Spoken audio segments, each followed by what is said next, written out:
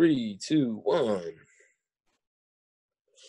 What's up, Disrupt Nation? My name is Anthony Delgado, and today we have a special guest, Amit. Amit is a real estate uh, investor, and he is also creating an amazing show. It's called All in Miami.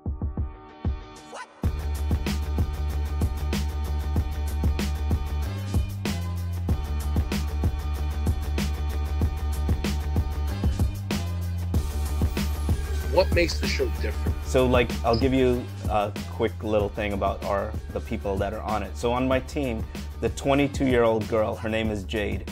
When I interviewed her to join my team, I asked her, so tell me what an ideal day would be for you. She's like, I wake up at five in the morning, I, I jog 15 miles, and then I'm ready to start my day.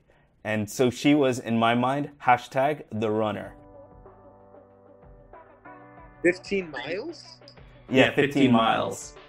Wow. Well, I started running when I was seven and uh, just kind of never stopped. I do around 12 miles a day, sometimes 13, sometimes longer, um, but it's kind of how I clear my head and get in the zone for, you know, everything for my job and for my life. The first two miles are the hardest, but once you get past that, you have momentum and you could just go you have momentum and you're going and you can really feel yourself accomplishing something. You discover who you are while you're running. You're gonna run into obstacles, you're gonna not wanna continue, but it brings out your character and shows your true personality. So I have a few miles left. This is always the best part of the run because you realize you know, how far you've come. And, and I think that it's interesting because, especially, you know, being in real estate and being in high end real estate, there are a lot of hard days, right? It's interesting because I have a client calling me at the moment while I'm recording. So we'll see. I'm to answer. All right, it was an accident. the other guy on my team, his name's Will. Will is 24 years old. He's German and Hispanic, and he travels a lot, so he's hashtag the jet setter.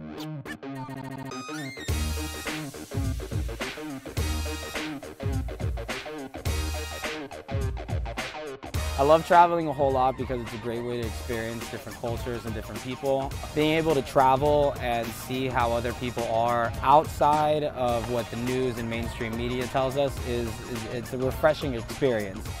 I'm to give you guys a few travel tips today that I thought about as I prepare for my trip to uh, Southeast Asia. The flight cost me $540. Everyone always asks me how I get flights are so cheap.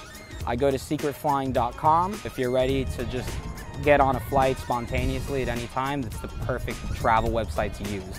One very important thing about when booking your flights, Seat Guru, best website ever, it will tell you every airplane of every route that every airline is using it's very important to get a travel adapter. I just have a universal one that fits four USB ports.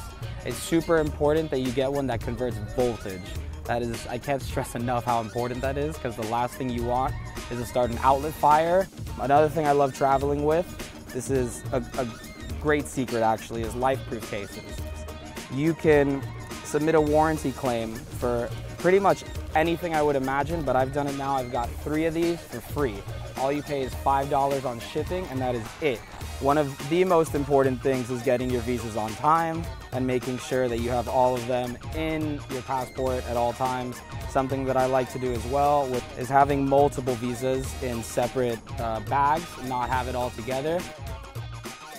What were you doing before real estate? it, it's sort of funny because so I, I, went to college, I got a degree in finance, but after that, a friend of mine she saw an ad for it said college degree required. And we went to the interview it didn't say what it was and it, and it was to sell cars. So we were like we went to college to sell cars but at the end of the day who cares right? So i did that for 11 years and i was you know relatively successful. I was doing pretty well. And you don't when you're young you think everything's about money so when i'm in my i was like in my 20s late 20s and i'm making six figures and I was like, oh, this is a great job, but I'm working like 80 hours a week. So I'm thinking it's not really that great a job. I'm working two jobs, you know?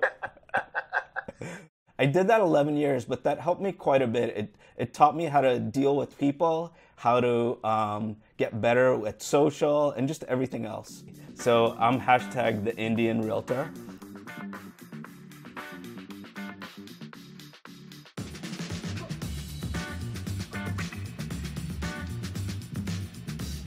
We figured we'd put all these stories together, show some incredible homes, get to meet some people that are interesting, and go from there.